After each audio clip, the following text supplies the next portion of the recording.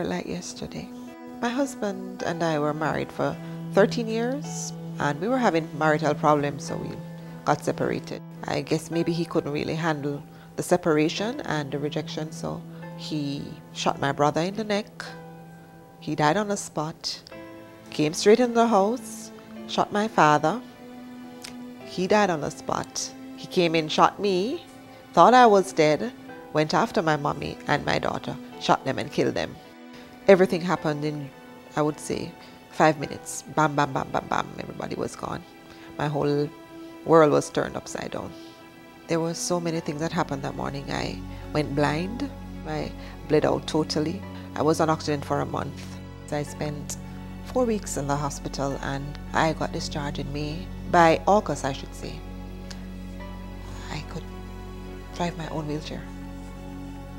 And I've, I'm determined to walk again and I'm gonna clap my hands down, which I couldn't do. I sing on the choir and I hope to be a motivational speaker. That's what I want to do.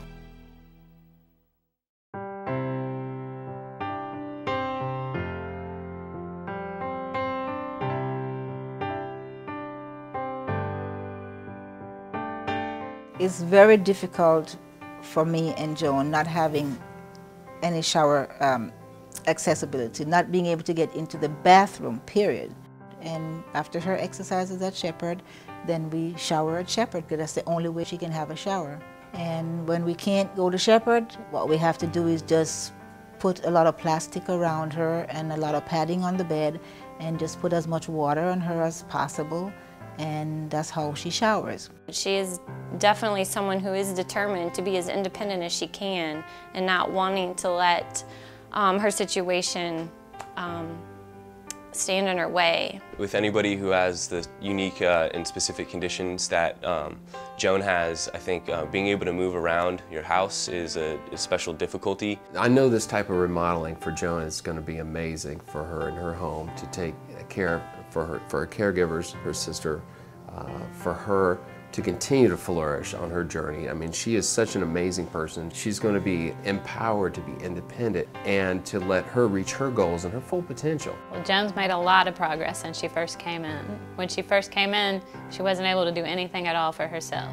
She now has the stability that her um, mobility from her wheelchair that has provided her. So with Joan having this accessible environment, it takes so much stress off of her. It would mean that she and her sister, instead of having to prepare for a one hour trip to Shepherd three days a week, they could use that time doing stuff that's more useful for them.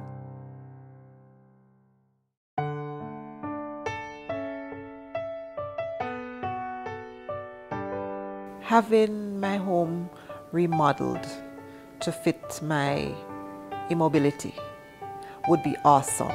Having my own shower, having my own face basin to wash my face and do things that I'm normally I normally do for myself, having it retrofitted would be good.